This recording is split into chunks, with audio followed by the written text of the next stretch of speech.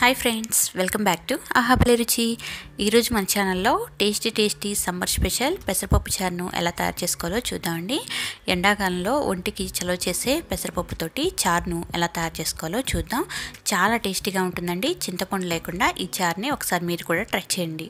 ముందుగా ఒక గిన్నెలోకి ఒక కప్పు వరకు పెసరపప్పుని తీసుకోవాలి. పెసరపప్పు తీసుకున్నాక రెండుసార్లు వాటర్ వేసుకుని శుభ్రంగా కడిగి తీసుకోవాలి.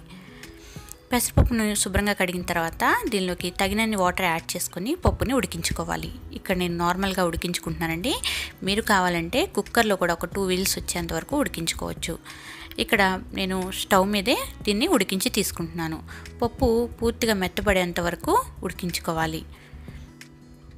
చూసారు కదా పప్పు అనేది దగ్గర పడి ఉడికిపోయింది. ఉడికాక దీన్ని స్టవ్ ఆఫ్ చేసేసుకోవాలండి. ఆఫ్ చేసేసి దీనిలోకి మనం కొద్దిగా ఉప్పు వేసుకొని మెదుపుకొని తీసుకోవాలి. మీరు కుక్కర్లో వేస్తున్నట్లయితే ఒక రెండు వీల్స్ వచ్చేంత వరకు ఉడికించి తీసుకోండి. ఉప్పు వేసుకొని ఒకసారి మెదుపుకొని పక్కన పెట్టుకోవాలి. ఇప్పుడు స్టవ్ మీద ఒక గిన్నె పెట్టుకోవాలి. గిన్నెలోకి తగినంత ఆయిల్ వేసుకోవాలి. నేను వచ్చేసి ఒక రెండు టేబుల్ స్పూన్ల వరకు ఆయిల్ వేసుకున్నాను. ఆయిల్ వేడయ్యాక దీనిలోకి ఆవాలు జీలకర్ర ముందే వేసేసుకున్నానండి. వీడియో క్లిప్ మిస్ అయిపోయింది. దానిలోనే కొంచెం పచ్చనిపప్పు కూడా వేసుకొని ఫ్రై చేసుకోవాలి. ఆ తర్వాత దీనిలోకి నేను ఇక్కడ ములక్కాయలు అలాగే టమాటా అలాగే ఉల్లిపాయలు పచ్చిమిర్చి కరివేపాకు అన్నీ కలిపి ఫ్రై చేసుకుంటున్నాను. ముందుగా నేను కరివేపాకు పచ్చిమిర్చి అలాగే ఉల్లిపాయలు కొన్ని వెల్లుల్లి రెబ్బలు అలాగే ములక్కాయలు వేసుకొని ఫ్రై చేసుకుంటున్నాను. వెల్లుల్లి కూడా దంచి వేసుకోండి. ఆ తర్వాత కొంచెం మగ్గాక టమాటాలను కూడా వేసుకొని మగ్గించుకోవాలి. ఒక రెండు మూడు నిమిషాల పాటు మీడియం ఫ్లేమ్లో మగ్గించుకోవాలి. దీనిలోనే కొద్దిగా ఒక పావు టీ స్పూన్ వరకు పసుపు వేసుకొని బాగా కలుపుకోవాలి. మనకి ములక్కాయలు అలాగే ఉల్లిపాయలు కొంచెం మెత్తబడాలండి. ఇవి కొంచెం సాఫ్ట్గా అయ్యాక దీనిలోకి వాటర్ని యాడ్ చేసుకోవాలి. ఇక్కడ నేను వచ్చేసి ఒక లీటర్ వరకు వాటర్ని వేసుకున్నాను.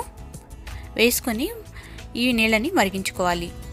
ఇవి తెల్లేటప్పుడు దీనిలోకి మనం ముందుగా ఉడికించుకున్న పప్పుని వేసుకోవాలి. పప్పు వేసుకున్నాక బాగా మిక్స్ చేస్తూ కలుపుకొని ఉడికించుకోవాలి. తర్వాత దీనిలోకి మనం రుచికి సరిపడా ఉప్పుని యాడ్ చేసుకోవాలి. అలాగే ఒక టీ స్పూన్ వరకు కారం. ఉప్పు కారం తగినంతగా చూసి యాడ్ చేసుకోవాలి.